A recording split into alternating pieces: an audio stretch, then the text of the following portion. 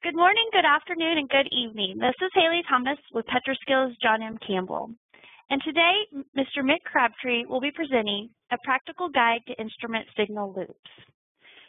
Mick has spent the last eight years running industrial workshops throughout the world in the fields of process control and instrumentation, data communications, field bus, emergency shutdown systems, project management, online analysis, and technical writing and communications. He has trained over 5,000 engineers, technicians, and scientists. Mr. Crabtree formerly trained in aircraft instrumentation and guided missiles in the Royal Air Force, having completed his service career seconded to the Ministry of Defense, and he was responsible for ensuring the reliability, maintainability, and functional usefulness of specific equipment entering the Royal Air Force. He is the former editor and managing editor of Pulse magazine, South Africa's leading monthly journal dedicated to the general electronic and process control instrumentation industries. He has written and published six technical handbooks on industrial process control. Mr. Crabtree holds a Master in Science Research in Industrial Flow Measurement and an HNC in Electrical Engineering with distinctions. Mick, we're so happy to have you here today. Thank you for presenting this webinar for us. Thank you, um, thank you, Haley. Thanks very much. Okay, um, let's have a look at our learning goals. Um, so by the end of this uh, module, you'll be able to um, explain basically how a thermocouple works. You'll be able to relate the problems associated with um, amplifying a very small voltage for transmission over a very long distance. Um, we'll be able to describe the basic principles of the 4 to 20 milliamp uh, uh, instrumentation signal loop. Um, we need to do a little bit of background. We call some of the basics of intrinsic safety um, in use in hazardous areas. Um, and most importantly, we'll be able to select a transmitter based on the uh, load limitations. We'll be able to look at uh, how a loop splitter repeater works, and we can show how we can provide actually using the 4 to 20 milliamp loop, we can still provide a diagnostics fault output. So we need to start off with, right at the beginning, what on earth is a thermocouple? Um, and the it really started in 1821 when Seebeck made use of two um, different wires and uh, two uh, types of wire. He actually used uh, copper and antimony. Um, and he literally twisted them together. He put one end in a reference, an ice bath, and he put the other in um, a variable temperature. He, he varied the temperature. And he found, he discovered that as he varied the temperature, um, he got a voltage output that varied according to the actual temperature. So when the junctions were held at different temperatures, um, it was a function of the temperature difference and the composition of the two metals. He also did um, uh, experimentation um, to show that different metals, different combinations produce different voltages. But most important, he found that for a given temperature um, and a given set of um, materials, he got a constant output, a, a millivolt output. And this was most important.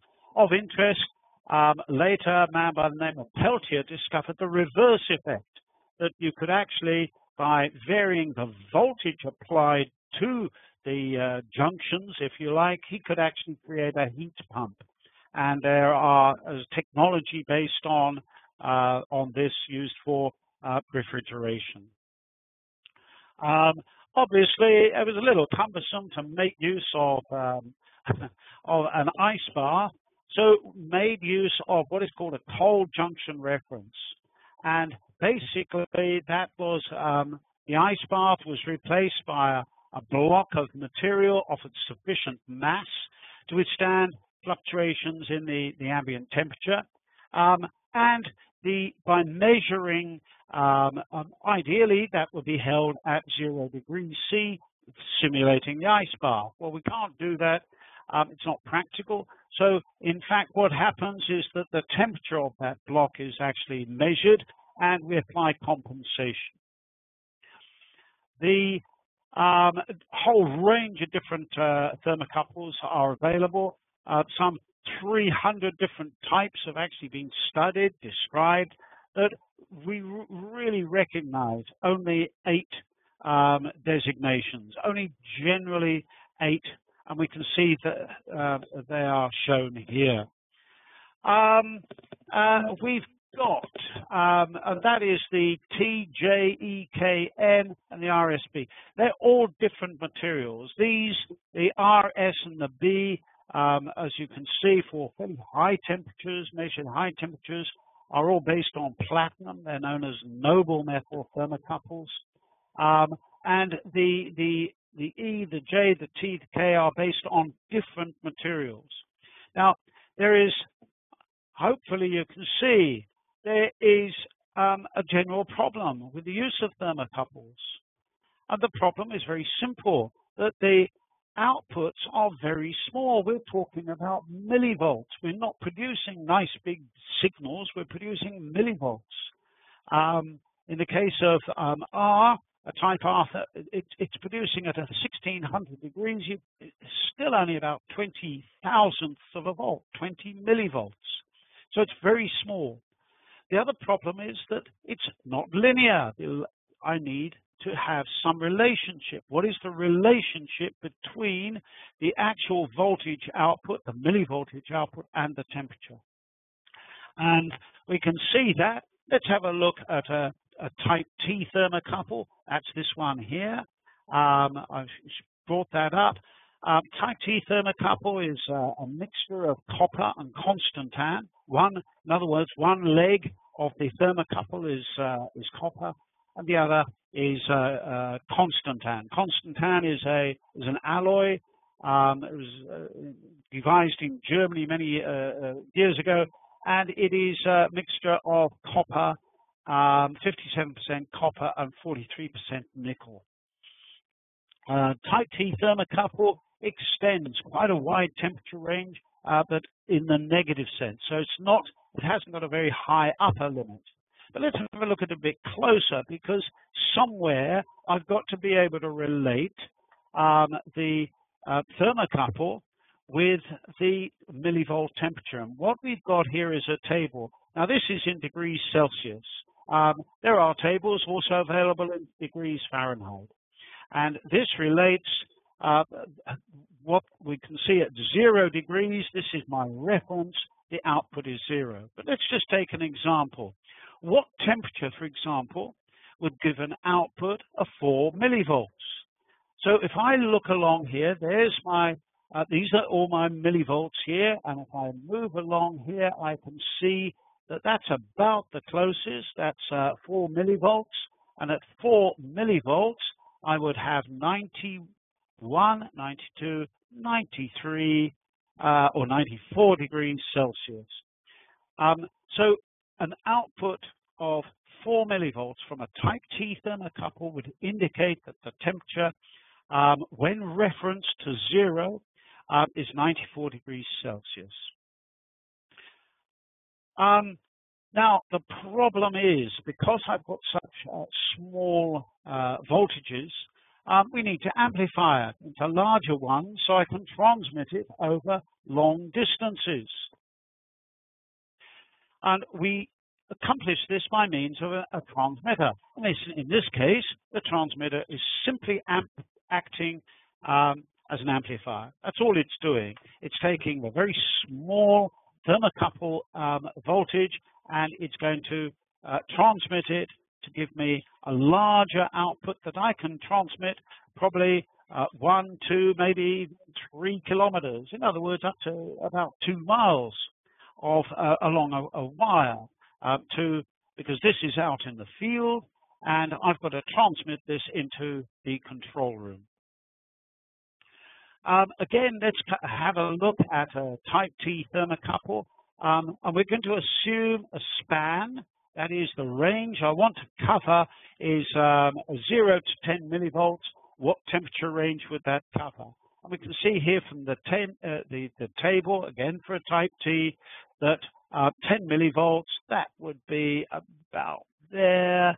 Um, would be 210, um, 213. So as this ranges from 0 to 10 millivolts, I'm going to get a range from 0 to 213 degrees C. I want to transmit this um, over a long distance. So I've got a wide, wide range, I've got a large uh, signals could we have. And um, over the years, a whole uh, um, pantheon, if you like, of different uh outputs have been devised. Um, and, uh, for example, I could use um, all I need to do in this case, um, amplify by a thousand times, and I could range it from zero to 10 volts. Um, another standard was two to 10 volts. Another one was zero to five volts. Another one, one to five volts. We had zero to 20 milliamps. We had 4 to 20 milliamps, and we had 10 to 50 milliamps. These were all standards at one time. And the, they finally standardized on the 4 to 20 milliamp uh, only in 1975. Up until then, it was anybody's guess what people were using. Uh, it was a bit of a nightmare, to put it bluntly. But it took many, many years of arguing to finally standardize on the 4 to 20 milliamp uh, uh, loop. Why? Let's assume an output of 0 to 10 volts. Let's assume that this is, as this ranges from 0 to 10 millivolts, the output is going to range from 0 to 10 volts. Um, we've got a load resistance of, um, uh, uh, this could be, as I say, up to a kilometer, half a mile or more away from the uh, that, that transmitter. I've got a load resistance. Um, how much of the actual output voltage is actually going to appear across the load? Well, um, this is not actually realistic at all, what I've shown here. Let's have a look at a, a more realistic situation. Hmm? Um, because whether I like it or not, this long lead that I'm going to lead out into the, the uh, to, towards the control room is going to have resistance. The actual uh, wire is going to have resistance. I've just taken an example here, five ohms um, in each arm. And then I'm going to say, well, what is the current and uh, how much of the voltage will appear across the resistor? Well, this is pretty simple Ohm's law, and the current is going to be, uh, according to Ohm's law, the current is going to be equal to the voltage divided across the, divided by the resistance. And so I've got 10 volts divided by the total resistance, which is 100 plus the two um, 5 ohm resistors there. So that's 110, and it gives me a figure of 0.0909. In other words, uh, uh, just on 0.1 of just under 0.1 of an amp. But please note, it is not 0.1 of an amp. Um, it's less than that. The net result is, what's the voltage going to be developed across the load?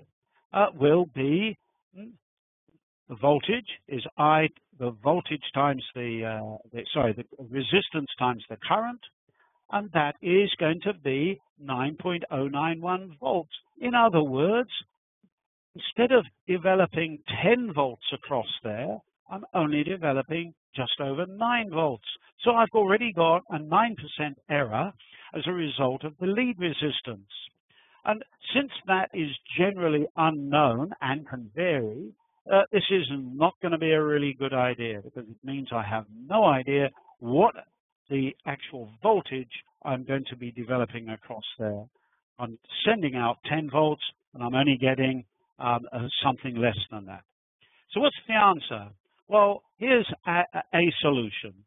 Um, if we look at a constant current generator, um, in this example, as the input varies from 0 to 10 millivolts, that's my thermocouple, the output is going to vary from 0 to 20 milliamps.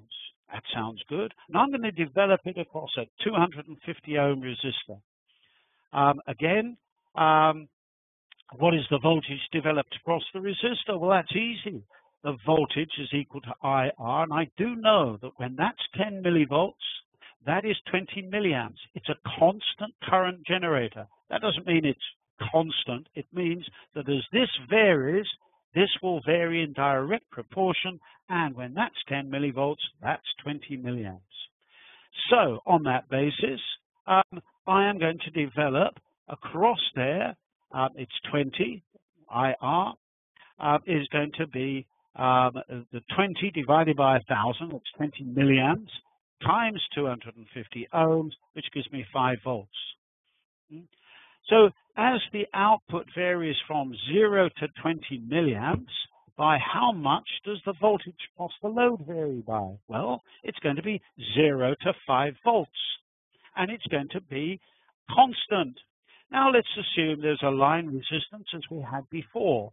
Line resistance, total line resistance of um, uh, uh, 5 ohms in each arm, so the total line resistance of 10 ohms. What's the current for a 10 millivolt input? Well, it's going to be 20 milliamps. It's still going to be 20 milliamps. What is, so irrespective of the line resistance, the voltage developed across the resistor is going to be 5 volts. So using a constant current as distinct from a voltage output, using a constant current, I'm going to be constantly delivering the correct voltage at the load. Um, we've seen previously that as the input varies from 10 from 0 to 10 millivolts, the output's going to vary from 0 to 20 milliamps. Great. Consequently, the voltage across the 250 ohm load is also going to vary from 0 to 5 volts. Do you see a problem here? Maybe. What happens if there's a line break? If there is a line break, I've got a bit of a problem because this is now going to be, I do not know whether, in fact, um, because I'm now going to get zero across here, I cannot differentiate between line break and the fact that that is zero. I don't know. This is overcome by what we call a zero offset. In other words, when this varies, as this varies from 0 to 20 milliamps, sorry, 0 to 10 millivolts, I'm not going to vary this from 0 to 20 milliamps. I'm going to vary it from 4 to 20 milliamps. Um, again, across my uh, 250 ohm resistor, so the voltage is now going to vary not from 0 to 5 volts, but from 1 to 5 volts. This means that if I get a break in the line, this will fall to 0 and I can flag it as an error. We'll look at that a little closer later on. But it means that I've now got a, um, a constant current signal, 4 to 20 milliamps, or it's going to vary in the range 4 to 20 milliamps. So um, as when the input is actual zero, this is reading 4 milliamps. In the event of a line break, the output current falls to zero, and that indicates a fault condition. Why, why wouldn't it, I mean, milliamps, why don't we use a much higher current? Um, it would be less susceptible to noise, less sensitive to noise. And the answer lies in what we call the combustion triangle. If we look at this, what do we require to create an explosion? Well, we need uh, three things. We need um, air, but actually we need oxygen, but we, we, talk about air. We need air. We need a source of fuel. We need sufficient vapor. And we need a source of ignition. Let's have a look at probably the most sensitive um, fuel. And if I get those in combination, I'm going to get a bang, an explosion. This shows the concentration levels for hydrogen. This is an ignition curve for hydrogen air. And as I vary the concentration, if there is too little, that's my uh, lower flammable level. If there's too little hydrogen, um, I can't ignite it. And Similarly, if there is too much hydrogen, not enough oxygen, it won't ignite. But within that curve level, it will, it's ignitable. What I want you to really look at here is how much energy. Now, uh, the energy required to ignite the hydrogen um, from a spark, for example, is 0.02 millijoules. That's 20 microjoules. And then you ask, well, what is a joule? A joule is a source of energy.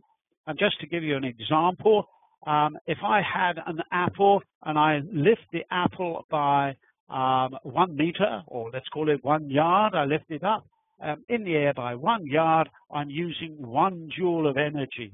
In this case, I only require to ignite this hydrogen 20 microjoules, which is an incredibly small amount. So I've got to be very careful of the amount of energy that I put into my system. And fortunately, I've got curve. Now let's have a look at this. This is the energy requirements in terms of um, uh, the power. Bear in mind, a joule is a watt second. So um, at, for example, 28 volts, I need to ensure that the current into my system never exceeds 93 because if it ex exceeds 93 milliamps or this exceeds 28 volts, that combination, I'm going to get an explosion. Um, we look at this a little further. We have a system uh, where we have a safe area. Uh, here's my hazardous area. This is where I would have, for example, um, in the, the, case I'm talking about, hydrogen present. I have a control system. I've got a, um, a field device. I want to ensure that under no circumstances am I ever going to get sufficient energy put into this system under open circuit, short circuit conditions that would trigger an explosion. And we use a safety barrier. And a safety barrier uh, comprises, um, uh, uh, in its simplest system like this, it's got a fuse. Um, so if the if there's a short circuit here, the fuse will blow. But I'm also going to limit it. I've got current limiting resistors. I've got Zener diodes that limit the voltage that that can actually rise to maximum. Um, and I'm making use of an, what's called an IS ground. So the whole point of this safety barrier is to make sure that I never get large voltage or large currents, that's the most important, um, developed into my field device. So that is why I'm really limited to quite low uh, currents, which is, as I mentioned, the 4 to 20 milliamp. The other advantage of using a offset, this 4 to 20 milliamp, is that um, generally a transmitter was usually powered externally from it needs power. I've got, a, I've got an amplifier. It needs to be powered. I need a, a supply voltage, a supply current. Um, and typically that was a 10 to 30 volt DC um, supply. Um, well, as the power requirements uh, with modern um, large-scale integration, and particularly with the advent of what they call CMOS, um, CMOS complementary metal oxide silicon, which uses um, to power it only requires micro uh, watts or milliwatts. So it means that the we could reach a point where the device could be powered by less than 4 milliamps um, requirement. This meant that I could dispense with that. I've now got, because this current will never be less than 4 milliamps. If it is, it's got a line break. I've got a fault anyway. But under normal circumstances, the least this can uh, uh, go down to is 4 milliamps. That means I've always got 4 milliamps flowing through this, and I can now have what is called a loop-powered transmitter. So there are five major advantages of the 4 to 20 milliamp loop. Um, we have, um, firstly, I've got long distance transmission without signal loss. I've got allows detection of offline sensors, broken transmission lines, and other failures. It uses a fairly inexpensive two-wire instrumentation cable. Um, used proper shielded twisted pair. Um, I've got very low sensitivity to um, uh, uh, electrostatic, electromagnetic interference, and it caters for loop powering. Let's have a look a little bit uh, closer. So shielded cable, um, uh, used to guard the low-level signals against outside interference. Uh, the shields, this is rather important. Shields of each cable are grounded at one end only.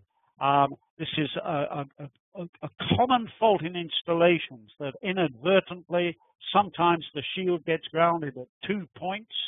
Um, and if that happens, you've lost your shielding capability.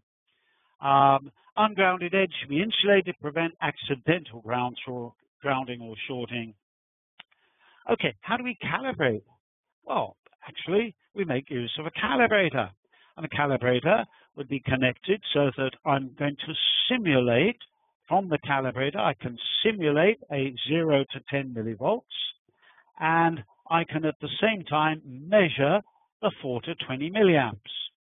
So um, we'll start off by just two adjustments. I produce 0 to 10 millivolts, simulate uh, uh, uh, 0 to 10 millivolts, uh, and I'm going to simulate uh, a 0 zero in, and I will adjust the zero to, to ensure that I'm getting 4 milliamps out. All that's necessary then is to adjust the span, in other words, set that up to 10 millivolts, and then adjust the span to give me 20 milliamps output. But this is all very well, but can we actually call it a temperature transmitter? And the answer is no, we can't. Uh, why? Because it's actually a millivolt transmitter. All it's doing is taking the 0 to 10 millivolts and it's amplifying it and producing a 4 to 20 milliamp output, which I'm transmitting to the, um, the, the control room. It's not actually measuring, it's not taking into account the uh, linearization, it's not taking into account the scaling, it's not taking into account um, the the fact that the the thermocouples themselves are nonlinear and they're going to vary. So um, what would I need? Well, uh, in order to make it a temperature transmitter, I would need some form of linearization. I would need some form of input scaling, and I would need input device selection. Um, I don't want a separate transmitter for a T-type transmitter or a K-type transmitter. I want one transmitter where I can set the whole thing up. That means I would need to have some form of lookup table for a type T, uh, for a type J, that when I've got uh, 10 millivolts in input, that corresponds for a type T, as we've already seen, to a certain um, a certain uh, temperature. So linearization, input scaling, input device selection. And all this is accomplished through the use of a microprocessor.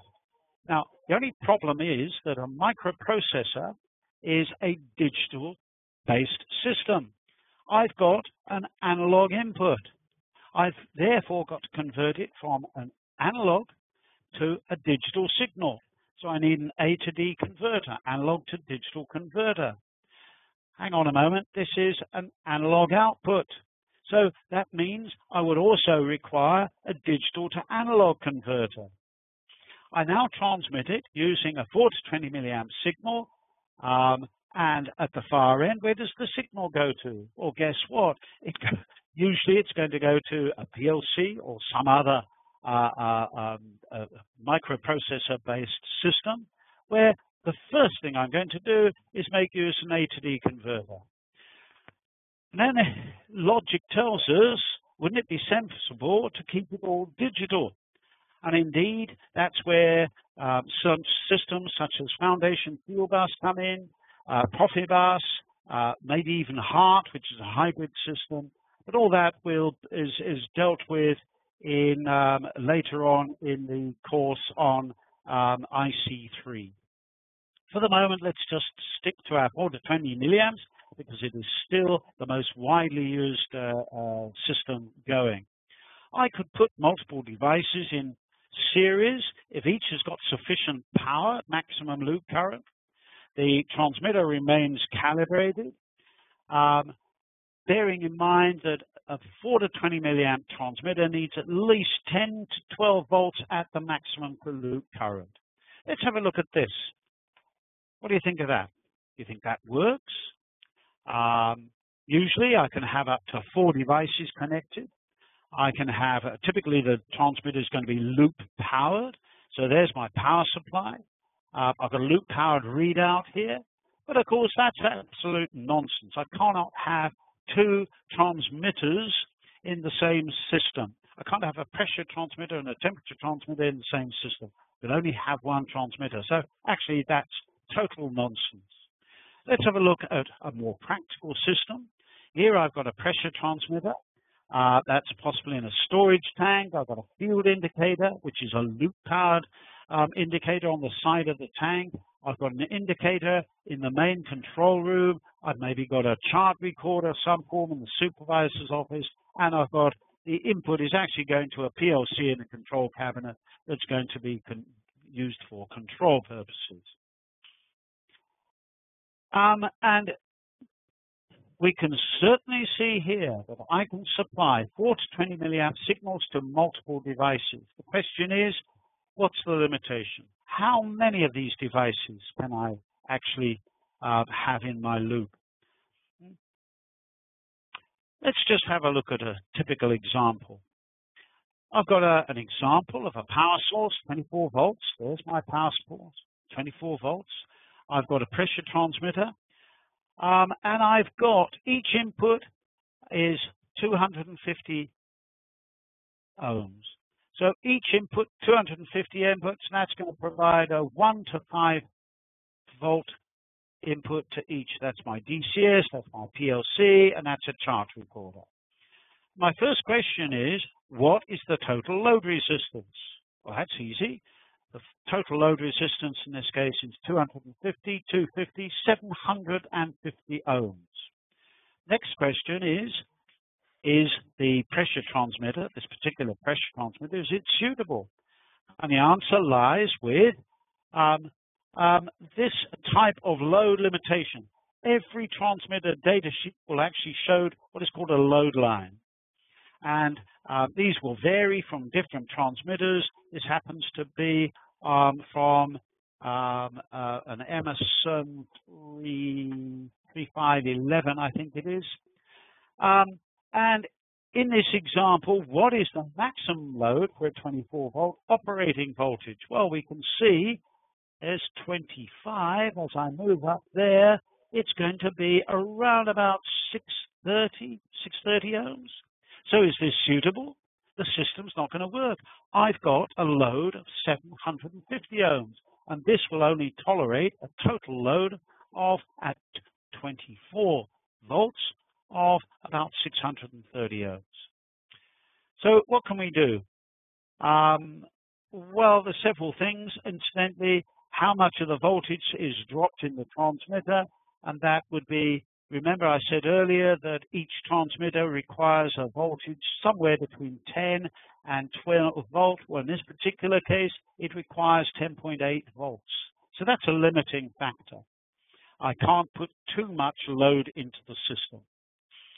What could I do about this? Well, one, I maybe, what about if I increase the supply voltage? If I increase the supply voltage, say to 28 volts, guess what? I've got 800 ohms. 800 ohms is above, means I could have a total um, load resistance of 750 ohms. Increasing the load or the voltage, supply voltage is usually impracticable. So um, normally we can't do that. So we'll have a look at a, a, a solution. Um, let's just go back to this because this is looking at the solution. It's also looking at a slight problem because I've got all these devices all in series and if I got a cable break, the whole lot would go out. So it can drive multiple devices, but a broken wire anywhere along the loop will cause a loss of signal to all devices. Not good. The solution lies with what we call a splitter repeater. Um, and basically, the splitter repeater um, means that obviously if I get a break here, yes, I'm going to get a failure. But a break here, if I disconnect that, does it matter? No. If I disconnect that, does it matter? No. Also overcomes the problem of excessive loading. So if I have a load um, um, that exceeds the power, uh, the load limitations of your transmitter, by using a splitter repeater, I can overcome the problem. Um, benefits of a loop splitter allows the total reduction when the loop power is not sufficient. It splits one uh, 4 to 20 milliamp input loop into multiple independently scalable 4 to 20 milliamp outlet. Um, if I remove a device, it won't affect the other loops, and it powers two wire transmitters at 24 volts. Wonderful. And that's a typical uh, um, DIN rail uh, mount um, uh, loop splitter. I just want to deal with one very last thing, and that is um, I mentioned right at the beginning we were going to look at the possibility of my 4 to 20 milliamps being able to do a little bit more. Well, let's have a look at it. It's based on the uh, what's called the uh, Namur Entwicklung uh, or the NE43 standard. It's a German standard, but it's found um, it's gaining quite wide acceptance in the oil and gas industry. Generally, my 4 to 20 milliamp normal operating range. We also like to have um, a certain amount of normal under range. Take me down to about 3.8 milliamps. Um, a, a, a, normal over range take me up to 20.5 milliamps. So I have the capabilities of having a um, an over range and an under range. Um, anything less than 3.6 milliamps um, or usually 20 2 milliamps is regarded as a failure. So I could have a failure when the, I get a line break, or if, for example, the, uh, the voltage uh, suddenly went up for whatever reason. Um, but I've got a little gap here in the middle, and that little gap um, is um, typically going to be between 3.6 to 3.8. And I could use that value of 3.7 milliamps as a transmitter failure detection. In other words, we have built-in diagnostics. How do I indicate that the, the transmitter has failed? All I need to do is say, well, the transmitter itself has gone kaput. It is no longer working, and it would immediately set the milliamp range down to 3.7 um, alternatively, there are some companies that actually rather than go down to that level will go to a level of typically 21.5 uh, milliamps. That's uh, that actually is not part of the um, NE43 standard, but it is used by several companies. So there we are. We have um, a, this um, fairly simple system, 4 to 20 milliamp, has um, really uh, got quite a lot going for it. So at the end of this module, you'll have learned how to explain the working principle of a thermocouple. Uh, we've uh, looked at the problems associated with amplifying a small voltage for transmission over a long distance. We've described the basic principles underlying the, the 4 to 20 milliamp loop. Um, we've had a look at some of the bases of intrinsic safety to show why we use such a low current. Um, we've also been able to select a transmitter based on load limitations, and we've identified why we need to look at a loop splitter repeater. And finally, we can show we've shown how we can provide a diagnostics fault output. Well, there you are, ladies and gentlemen. Um, I hope you enjoyed this. Um, if there are any questions, uh, you can get in contact me with uh, questions. So, all right, thank you, Mick, so much for such a wonderful presentation. Um, as Mick discussed during the presentation, all topics that were covered today are also discussed in further detail in our Instrumentation Controls Fundamentals for Facilities Engineers course. Other courses covering topics in instrumentation and controls um, can be seen on the screen. Find your next course at petroskills.com. And once again, thank you, Mick, for um, presenting for us today. And we look forward to seeing you all in an upcoming PetroSkills John M. Campbell course. Thank you.